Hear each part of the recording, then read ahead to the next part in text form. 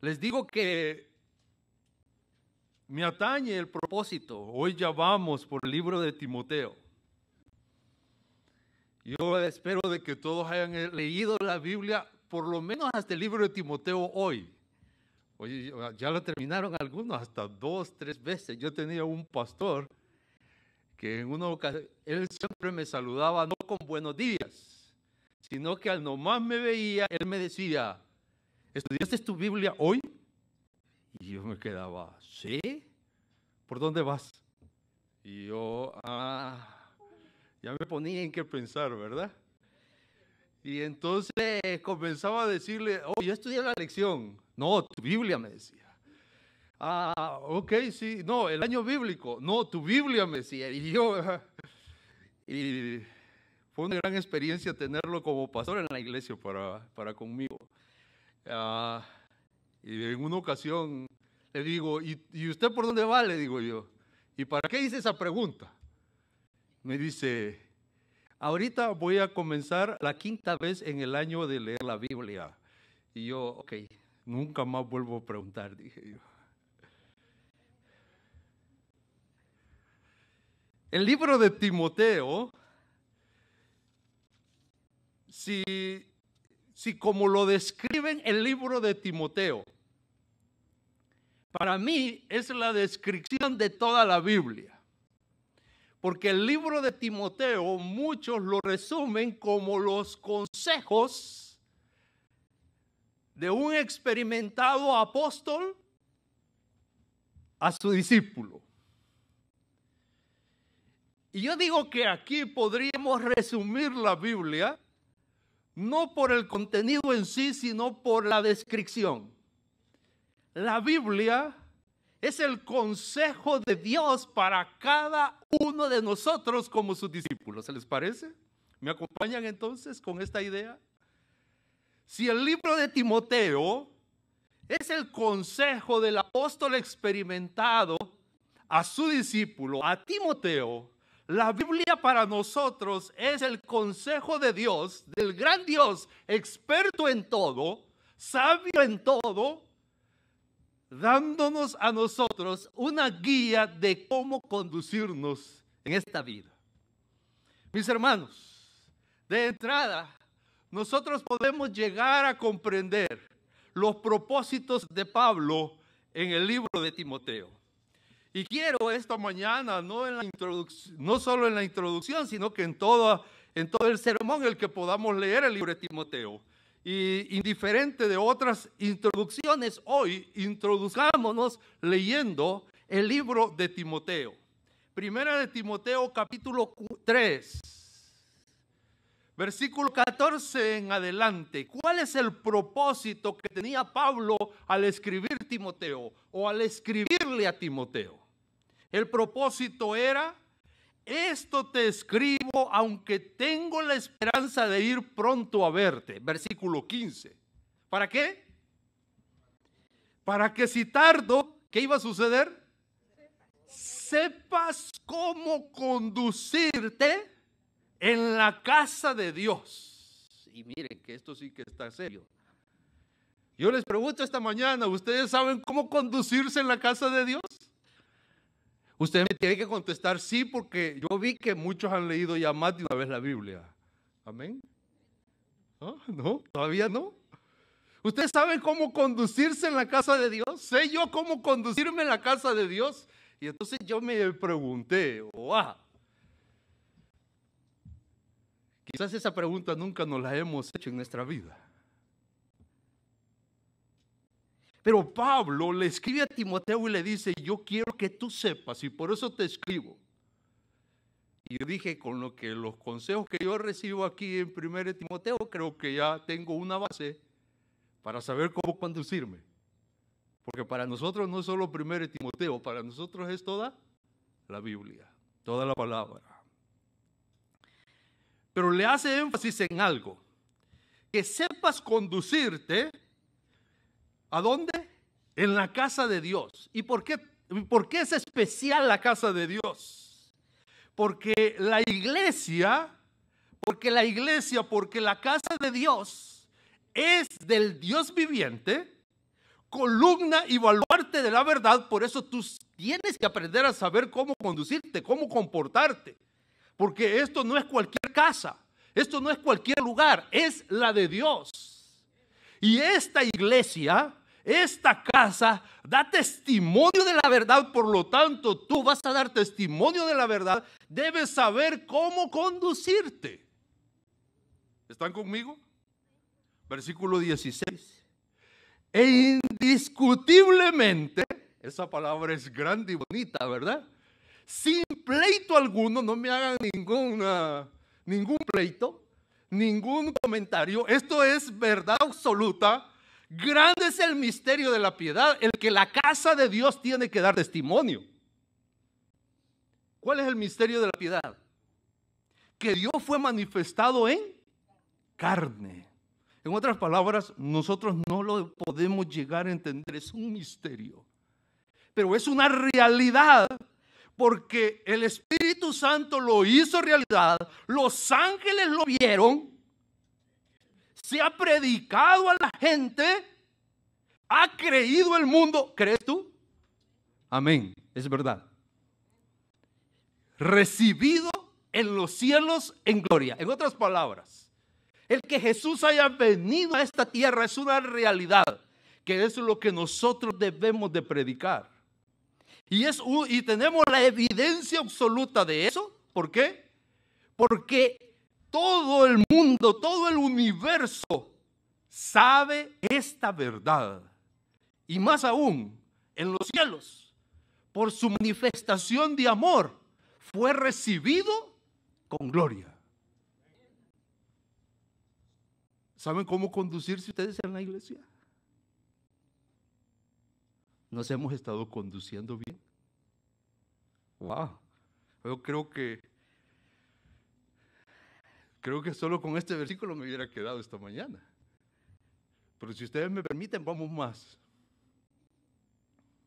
Bueno, tengo más minutos, ¿verdad? Ok.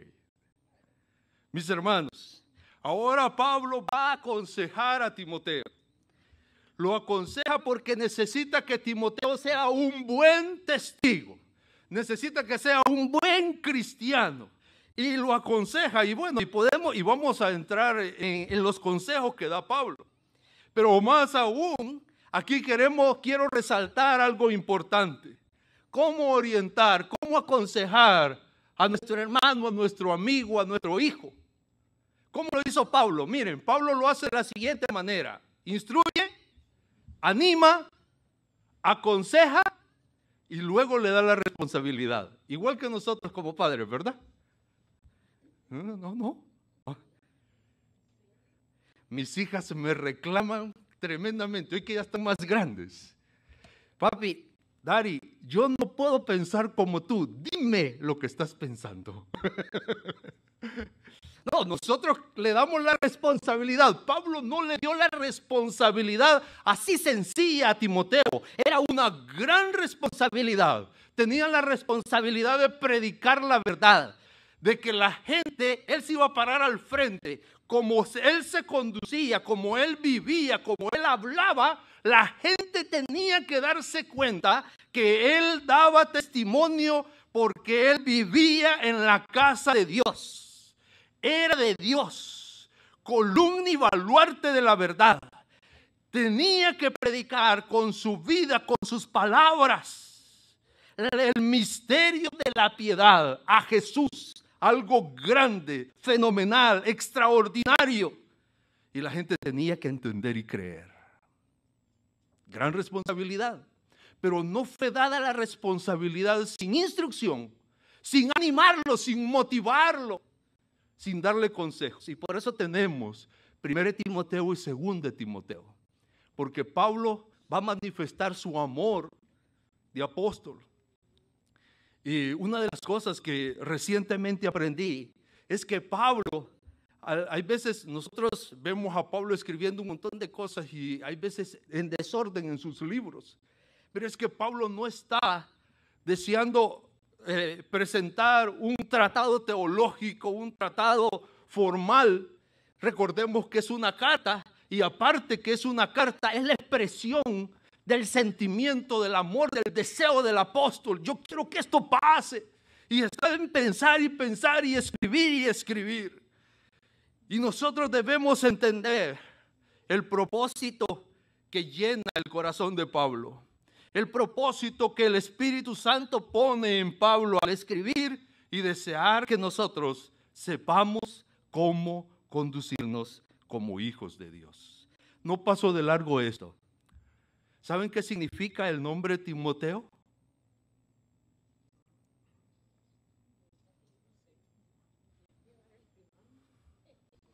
Significa honrar a Dios. Algunos le ponen honrado por Dios. Pero una traducción con la que me quisiera quedar esta mañana para llenar este mensaje es honor a Dios. Porque tu vida y la mía debe darle honra a Dios. Debemos, debemos ser un honor para Dios. Toda la Biblia, sin discusión alguna, nosotros encontramos a Jesús, a Dios. Pero en 1 Timoteo quiero leer tres párrafos, tres versos, donde se declara así, claramente, tácitamente, en una verdad absoluta, quién es Jesús para ti y para mí. Y en 1 Timoteo capítulo 2, versículo 6.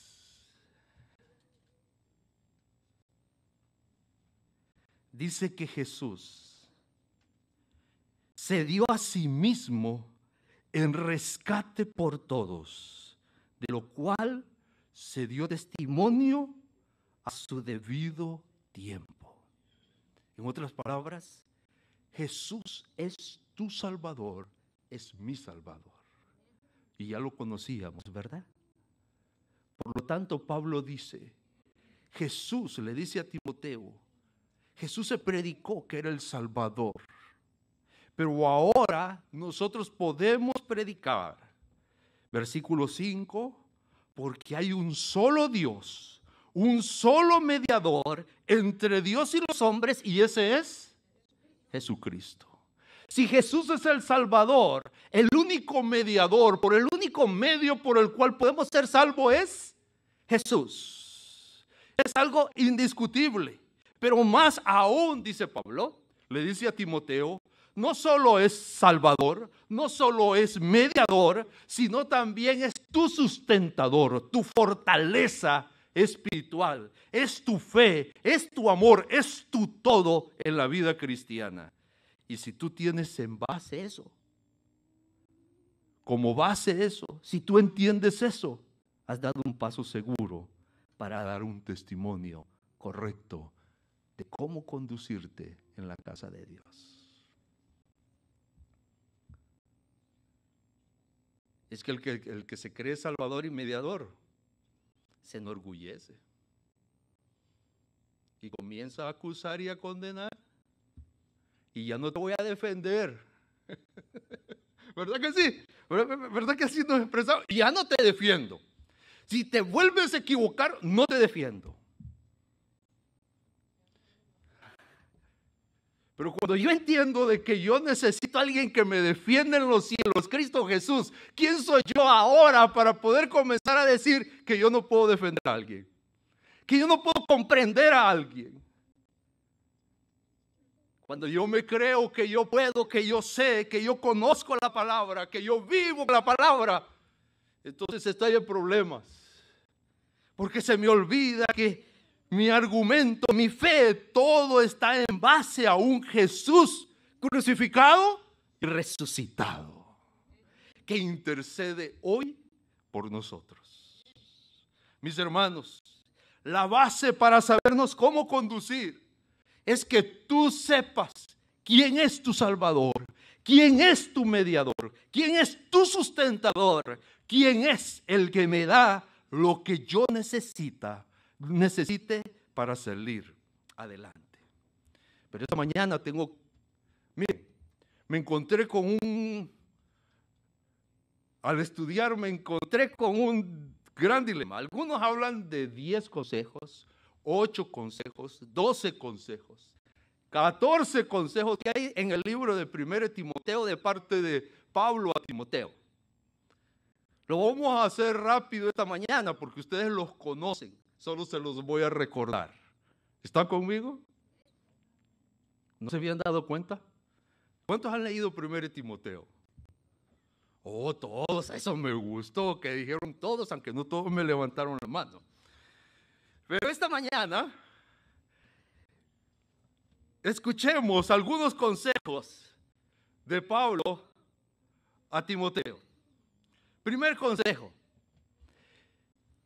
Tú sos edificado en fe. Amén. ¿Sí o no? ¿Cuál es el fundamento de ustedes? La fe. Y puedo agregar algo más.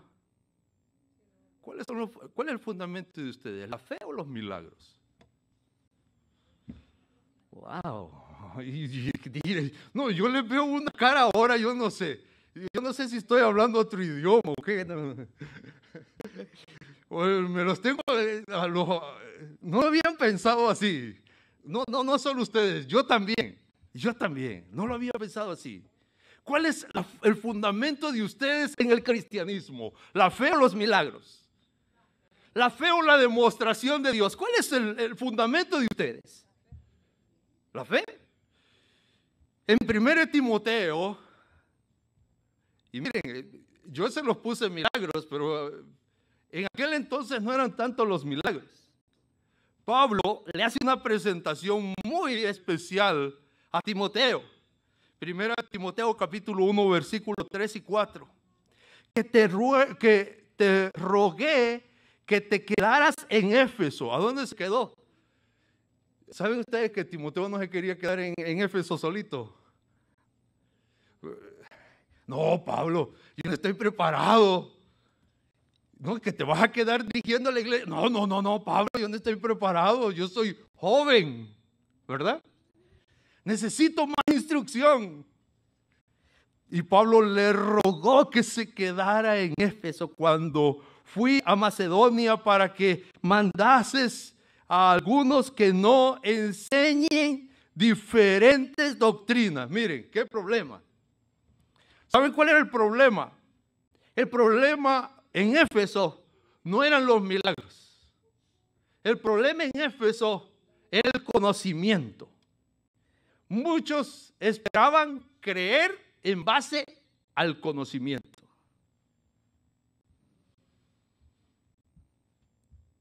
Yo les puse los milagros porque hoy es una gran discusión los milagros dentro del mundo cristiano. Pero en aquel entonces era el conocimiento el que mejor hablaba. Pablo mandó a Timoteo para que le hiciera frente a estos malos maestros. Ni presten atención a fábulas y genealogías interminables que acarrean disputas más bien que edificación de Dios, que es por fe, así te encargo ahora. El fundamento del cristianismo es la fe. No son fábulas, no son genealogías. Eres descendiente de Abraham, eres cristiano. No, no genealogías. No fábulas, no cuentos no teología. El fundamento de la fe, del fundamento del cristianismo es la fe. Tú eres cristiano, yo soy cristiano. Debemos ser cristianos en base a la fe y no a lo que acontece a nuestro alrededor. Lo que acontece a nuestro alrededor, los milagros, la teología, solo vienen a reforzar lo que yo he creído. ¿Están conmigo? Pero ese es el problema. Que como no lo dice la Biblia, yo no lo creo. Que como yo no lo entiendo en la Biblia, yo no lo creo. ¿No lo han oído ustedes?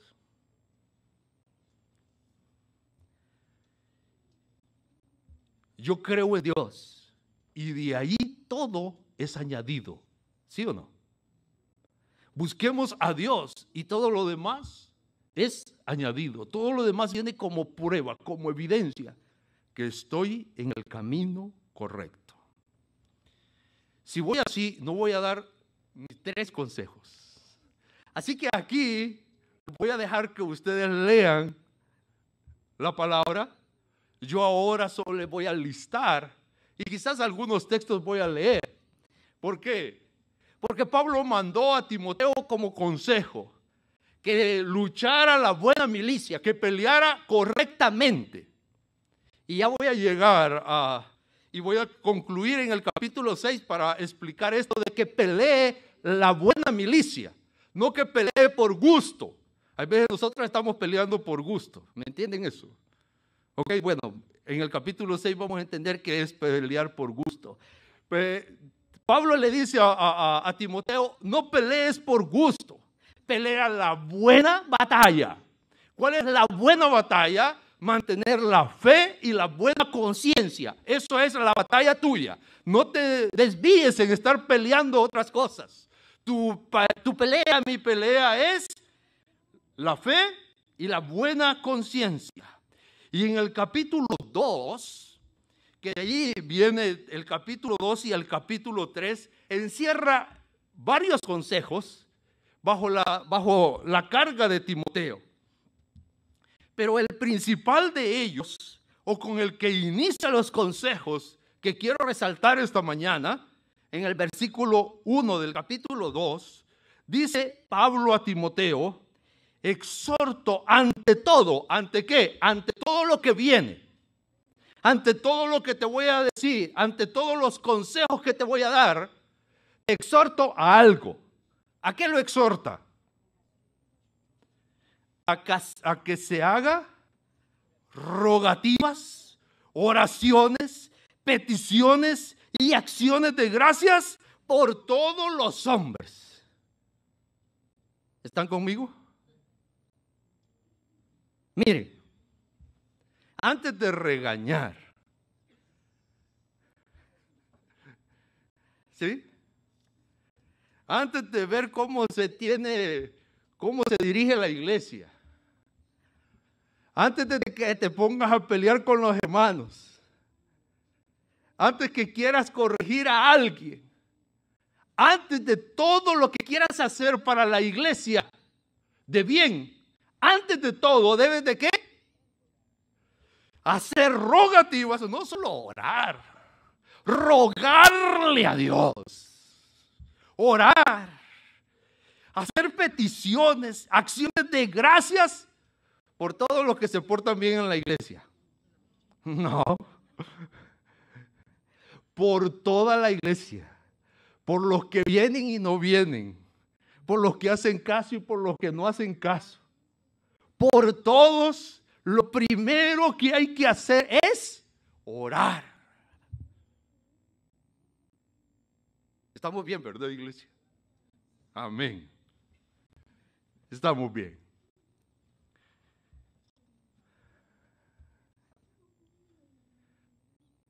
Cuando lleguemos a la junta de iglesia, líderes,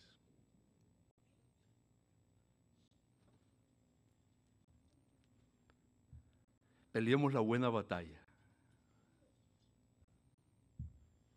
Y Pablo dice, ora, ora, vuelve a pedir, agradece por todos. Eso es la buena batalla. Iglesia, cuando vienes a adorar a Dios, para saber cómo conducirte, ora, pide, ora, agradece a Dios por todos. Una vez yo recibí un consejo sabio. Esa persona que te está molestando, ora por ella. Porque yo cometí un error. Yo oraba por mí. Señor, dame paciencia. Señor, ayúdame a soportarla. Dame paciencia. dame paz, dame tranquilidad, que la ignore. ¿Verdad? Estaba bien, ¿verdad? Oh, no, no, no, no, estaba bien, yo estaba orando bien. ¿O no le estaba pidiendo bien a Dios? No, y entonces recibí el consejo sabio que me dijo, ora por ella. Entonces comencé a orar, Señor, que le caiga bien. Señor, que le pueda ayudar. Yo sé que ella necesita, que se deje ayudar. Señor, ah, por favor, que, pueda haber un, punto de que nos podamos poner de acuerdo. ¿Y saben que el milagro sucedió? Yo no creo que desarrollé mucha paciencia, ni tranquilidad, ni paz, pero que nos pusimos de acuerdo, sí. que después él, él me escribió un texto y me dijo que estaba orando por mí. Y yo di, gloria a Dios. Mis hermanos, por sobre todo, ora. Esa es la clave. Miren, y de ahí vienen todas las demás discusiones dentro de la iglesia. Pero si hemos orado, todo tiene solución. Y entonces Pablo comienza a hablar de un montón de problemas. Y problemas que nosotros nos vemos. Mujeres, versículo 9, las mujeres que se atavían. ¿Qué debemos de hacer? Orar. Amén. que las mujeres que se vistan que se visten incorrectamente, ¿qué debemos de hacer? Rogar por ellas. Orar a Dios. Señor, que tu Espíritu Santo le dé sabiduría para que sepa cómo vestirse. Pero voy a hacer una aclaración aquí y espero que no me malentiendan. El problema que se estaba dando acá de la vestimenta de la mujer, el problema era de que no era lo malo que se está queriendo ver en la vestimenta de la mujer, sino que la mujer quería venir lo mejor presentada a la iglesia. Yo, sé que siempre lo hemos visto al revés, ¿verdad? Pero no, aquí había un problema donde la mujer estaba buscando presentarse lo mejor delante de Dios. Y entonces comenzaron a ataviarse, a ponerse collares, a, hacer, a ponerse lo mejor arregladas posibles, peinados grandes.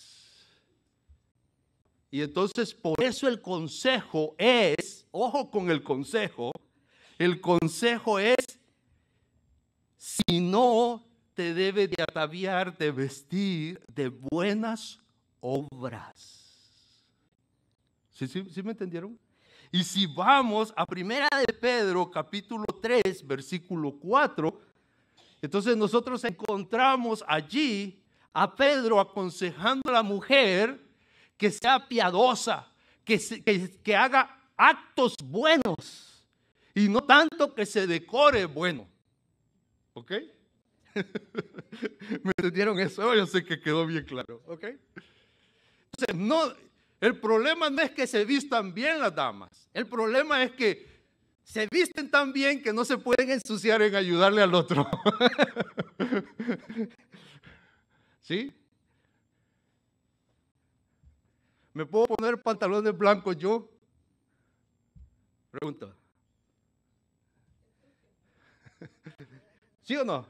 Sí, ¿verdad? ¿Sabe que no? Porque si yo tengo que ir a ayudar a alguien en esos pantalones, no van a dar un buen testimonio cuando regrese. ¿Me entendieron eso? Entonces el problema, el problema es, ¿cuál es tu prioridad? ¿Verte bien o que Dios te vea bien?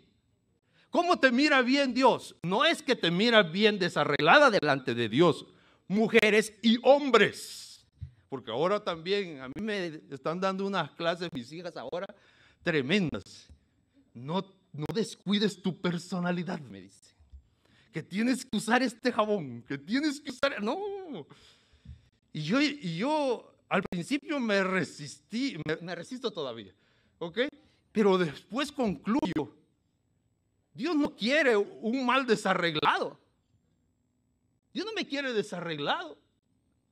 Yo tengo que dar un buen testimonio de lo que es Dios en mi vida. Así que, ok, el problema no es el adorno exterior, el problema es que por el adorno este, exterior queremos sustituir el adorno exterior por el, por el verdadero adorno, por la buena acción. Y entonces por eso, no solo aquí, sino que en, Primera de Pedro, como mencionaba, hace énfasis Pablo especialmente a las mujeres, y hoy puedo decir a los hombres, porque también nos estamos llenando de mucha vanidad los hombres. ¿Ok? Acepto. Nos estamos llenando de mucha vanidad. Entonces, Ahora nosotros debemos de cuidar de no perder el adorno interior, de perder el adorno espiritual, de perder el buen carácter y quererlo sustituir por el hecho de ponerme un saco. Yo siempre he tenido un problema. Bueno, tenía un problema allá en tierra. Yo llegaba a predicar y si me miraban llegar de saco, inmediatamente me saludaban como pastor. ¿Ok? Yo allá en mi tierra llegué a, llegar a predicar sin saco porque si me veían con saco me decían que yo era pastor. Y ese es un privilegio muy grande todavía para mí. ¿Ok? ¿Por qué? Porque está están acostumbrados a ver que el que llega a predicar llega de saco y es pastor. Por una imagen. Por imagen. No por palabra, no por hecho. Pablo, entonces le dice a Timoteo que debe de aconsejar a la iglesia que no es la imagen lo que hay que cuidar, sino que hay que cuidar el interior para poder dar un testimonio correcto de la palabra. Y si ustedes miran, en el capítulo 3 está la descripción de los diáconos. ¿Cuál es la descripción de los diáconos? Con saco, corbata, ¿así? Los que se visten con saco y corbata, eso puede ser, ah, ¿sí o no? No, no, no. ¿Quiénes son los diáconos? Los honestos.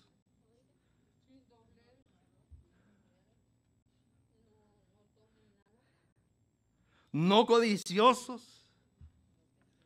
No pendencieros. Y cuando yo, recuerdo que cuando yo, leí esto, yo era joven cuando yo leí esto y había diáconos en la iglesia. Y decía, no, ese no lo merece cara de amargado y solo regañándome vive. Yo era joven, ¿verdad? Ahora no sé cómo piensan los jóvenes. Pero diácono era una persona honesta, recto, no codicioso, no pendencioso. Y si vamos a la descripción de las mujeres, también en el ministerio, las mujeres, en el, como diaconisas, versículo 11, las mujeres, las mujeres asimismo sean honestas. Eso de calumniadoras, yo no entiendo. ¿De qué se refieren los calumniadores? Sino sobrias, fieles en todo.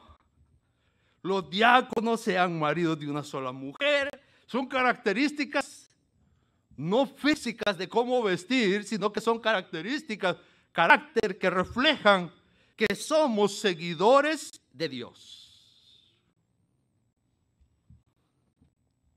Y en el capítulo 4, enfrentando la apostasía, me llamó la atención aquí porque, bueno, no me llamó la atención, quizá voy a hacer una aclaración. ¿Quieren leer conmigo los primeros versículos del capítulo 4, aunque ya estoy con tiempo?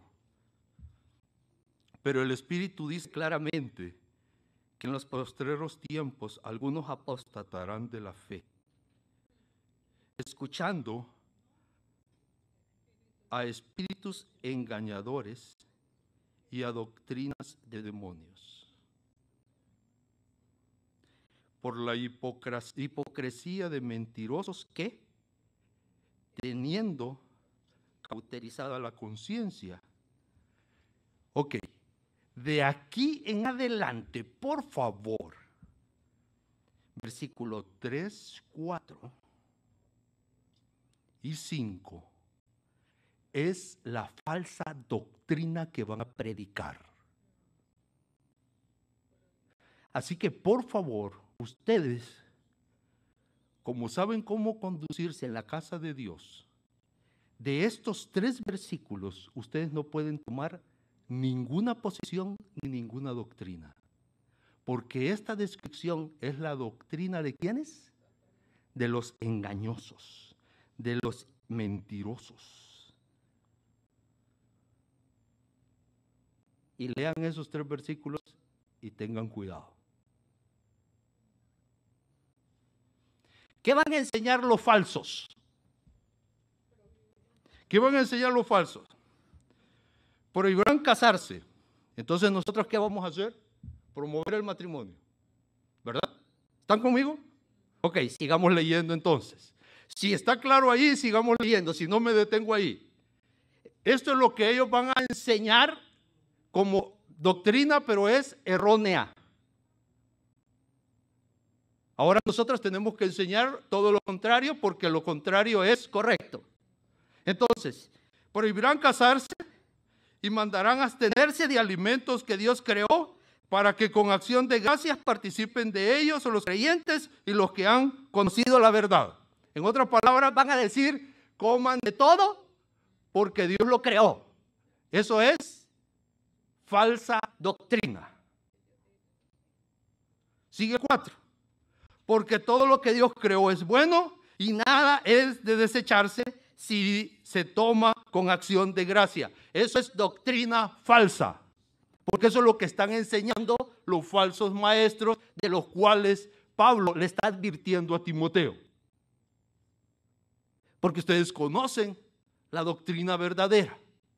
La doctrina verdadera es que Dios creó animales mundos e inmundos. Alimentos que podemos comer y alimentos que no podemos comer. Pero estos falsos maestros enseñan que hay que comer todo dándole gracias a Dios y amén.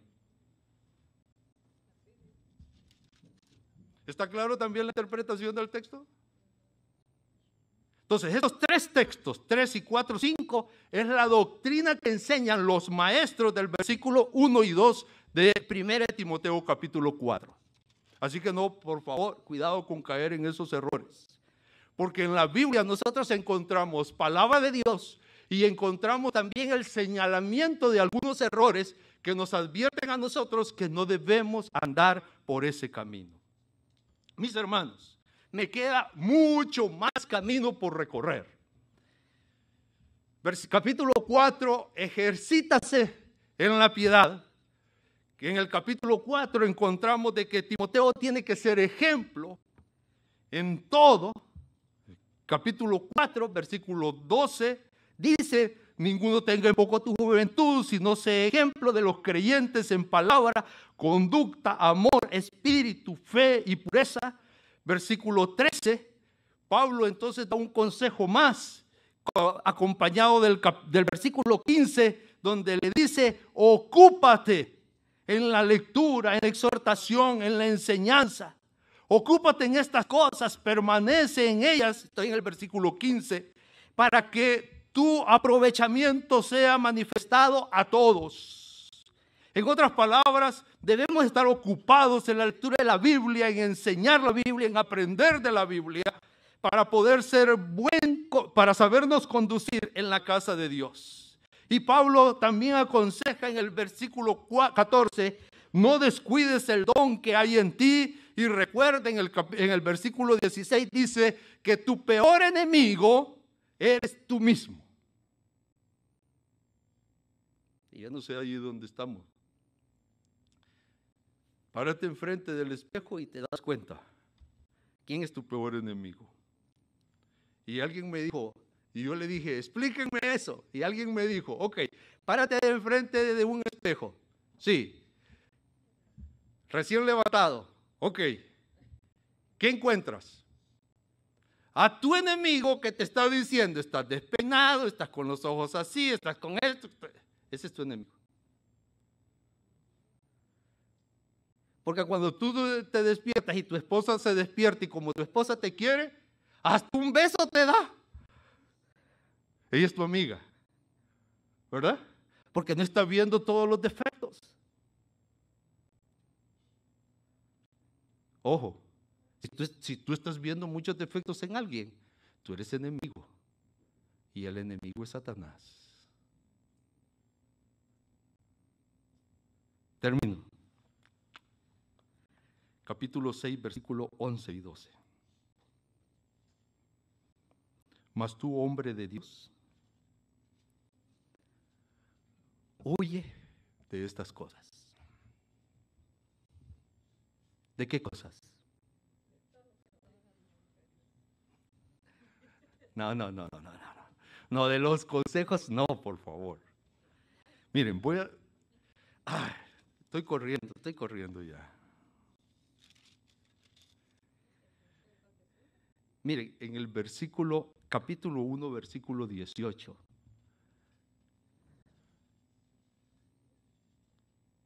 Voy para atrás y tengo que terminar ya.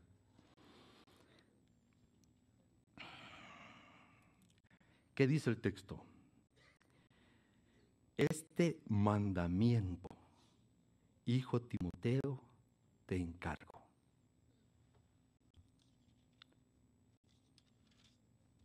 Así que no podemos olvidar nada de todo lo que hemos leído, ni huir de todo. ¿Ok? Pablo está diciendo a Timoteo que huya de lo que antecede a eso, que es en el capítulo 6. Ahora voy a hacer una aclaración que ha llenado mi corazón de gozo. He entendido el amor más de Dios a mi vida, pero al mismo tiempo me he entristecido.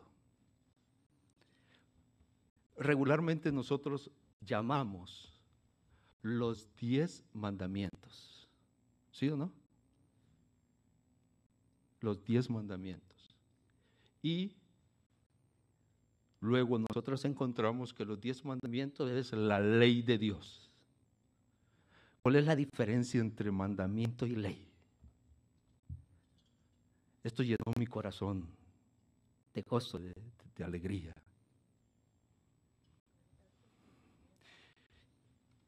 Pablo le dice a Timoteo, este mandamiento y nosotros hemos traducido como mandamiento, como consejo.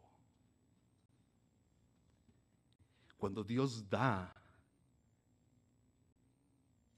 los diez mandamientos a Israel, lo que le está dando son diez consejos. Que son ley, son ley. Así como nosotros le damos consejos a nuestros hijos que no está en la ley, ¿verdad? Pero cuando nosotros le damos ese consejo a nuestros hijos es por qué? Porque queremos lo mejor. Y por eso los diez mandamientos, si ustedes leen los diez mandamientos, los diez mandamientos dice no mates, pero no dice cuáles son las consecuencias si tú matas. ¿Por qué? Porque es Dios aconsejándonos con amor a nosotros. Guarda el sábado. Acuérdate del sábado para que estés conmigo. Eso, es, eso, es un consejo de Dios. Luego Israel lo hizo mandamiento, lo hizo ley, perdón. Y ahora nosotros lo tenemos como ley, pero en, en el contexto judío era un consejo del Dios Padre amante para sus hijos. Pablo ahora, dice a Timoteo estos mandamientos te estoy dando, estos consejos te estoy dando. Huye, huye, huye de estas cosas. ¿De qué cosas? Voy a resumir los versículos del 3 al 10. Huye de esos engañadores. Huye y aquí tiene relevancia lo que decía al principio, huye, dice, ustedes pueden leerlo, huye de estar gastándote y peleando con esos burladores, con esos falsos cristianos con esos falsos maestros. Huye de estar peleando con ellos. Tu pelea es mantener la fe y la buena conducta. Nosotros regularmente nos podemos a pelear con esos maestros. Y él dice, huye de esos hombres. De esos hombres necios, huye, apártate. Ellos estaban, y dice otra cosa, huye de quererte hacer rico del Evangelio.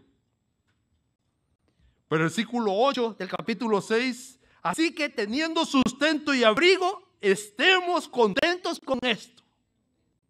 Huye de quererte hacer rico. Le dice a Timoteo. Y yo dije, wow, ¿yo qué quiero hacer? Estoy mal. Huye. Preocúpate entonces. ¿Por qué?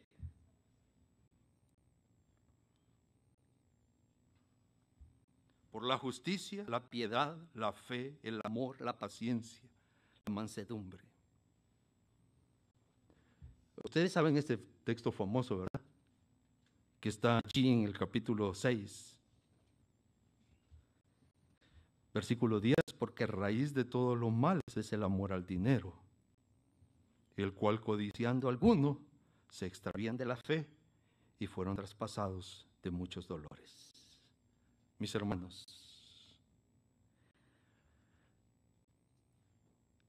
nosotros debemos huir de la falsa doctrina. Debemos de huir de esos pleitos sin fundamento con hombres necios. Debemos de enfrascarnos en la verdad, como dice Pablo a Timoteo. Debemos quitar la codicia, el querer tener más de nuestra vida, porque eso también hace mal a nuestra fe. Acerquémonos a Dios, porque Él va a dar el sustento y el abrigo que nosotros necesitamos. Huye de eso, dice. Pelea la buena batalla de la fe, versículo 12, y echa mano de la vida eterna, a la cual asimismo fuiste llamado, habiendo hecho la buena profesión delante de muchos testigos. Mis hermanos, yo sé que todos nosotros hemos hecho la, buena profesión, o la mayoría hemos sido bautizados, ¿verdad? Y ahí hemos prometido delante de muchos testigos ser lo mejor para Dios. De allí en adelante solo nos queda pelear la buena batalla de la fe y echar mano de la vida eterna. ¿Cómo echamos mano de la vida eterna? Jesús les dijo a los fariseos en aquel entonces, ustedes escudriñan la palabra porque creen que en ella hay vida eterna, pero la vida eterna soy yo, que está en la palabra. Hacémonos de Jesús, que es la vida eterna. Estudiemos su palabra. Enfrasquémonos en los consejos de Dios para tu vida y la mía. Busquemos hacerlo realidad en nuestras vidas, porque ya estamos militando la buena batalla. Mi hermano, que esta mañana nosotros podamos entender que Dios tiene propósitos buenos para cada uno de nosotros. Y no quiere que andemos enfrascados en pleitos, sino que nos enfrasquemos en mantenernos firmes en la fe, orando unos por otros, ayudándonos unos por otros, ejerciendo piedad, eh, ocupados en nuestra salvación, porque eso es lo que Dios quiere para nosotros. Entendamos eso. Busquemos la voluntad de Dios siempre y que Dios nos pueda dar esa vida eterna que Él ha prometido para cada uno de nosotros. Que Dios nos bendiga en esta mañana.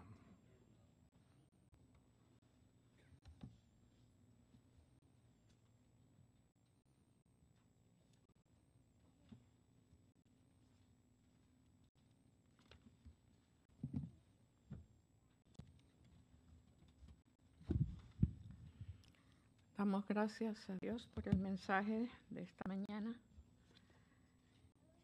y que quede el Espíritu Santo permita que quede grabada en nuestras mentes.